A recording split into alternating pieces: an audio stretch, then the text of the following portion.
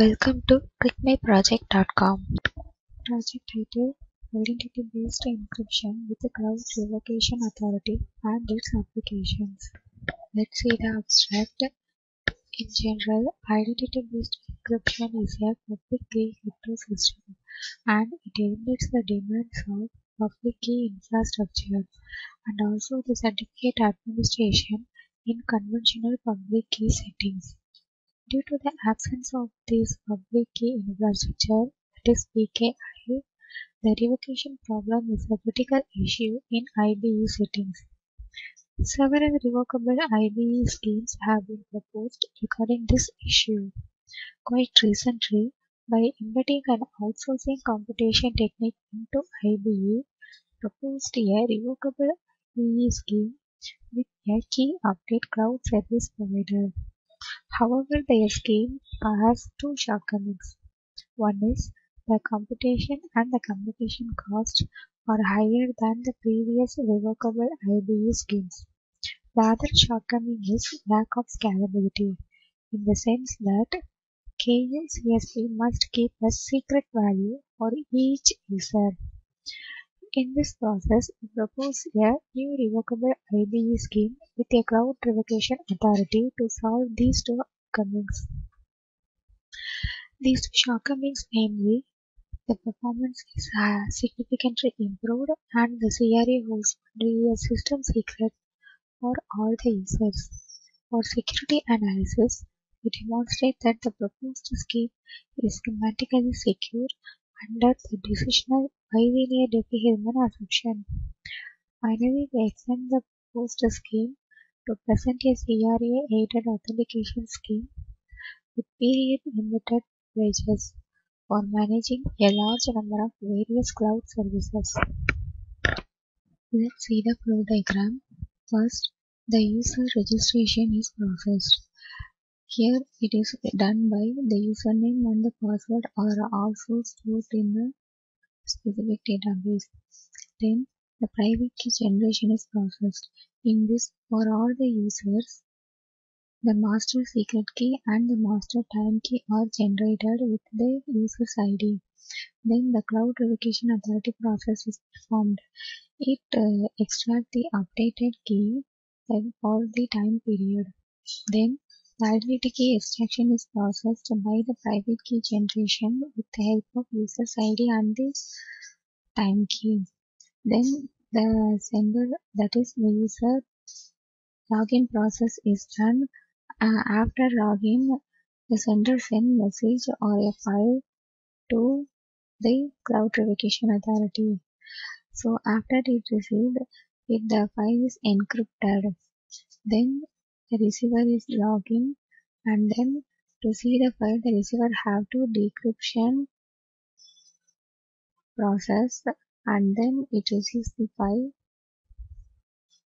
which was original. Let's see the running procedure. First run the home page.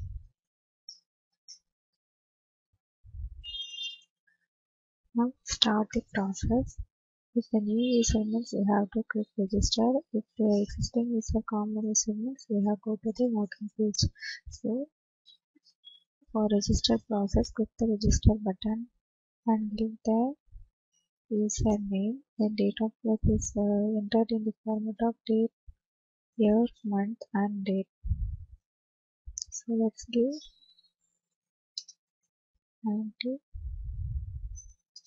month and date so choose the option of the sender then choose the city then to get the mobile number then username then password and click the register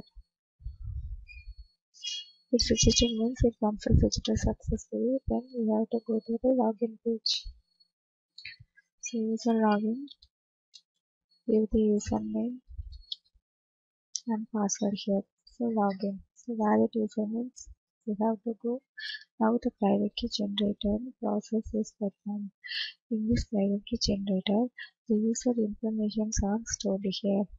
Then we have to generate the time key for for that click this the time key button. The time key is generated by the private key generator when we click ok. Then we have to extract the identity key gen. So in it goes to the cloud verification process. After the identity key is extracted the cloud verification process find out the time updated key. So choose the user which we want. Then their secret key is displayed here. For the updated key click the update button. Now the key information that is for selected username the updated key is generated and stored in the cloud. So after running the process the user is entered now. So we have to give the username here.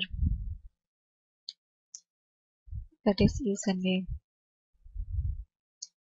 For the secret key we have to give the secret key here and give us enter. So if the valid usernames the username IDs are given then we have to select the file. So click the browse button and select the file where we have to choose. So click the test and then open. Then we have to process with this file.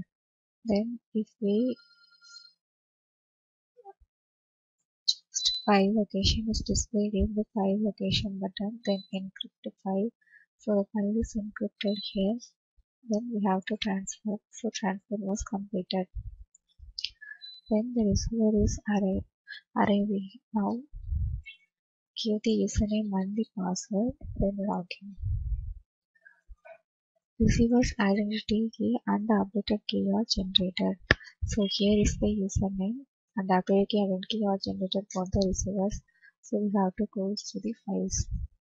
For the file name we have to receive the test files and we have we view the file means it is in the encrypted format. So now we have to decrypt it. So here is the file display. We view means the decrypted file is displayed. Finally we have successfully logged out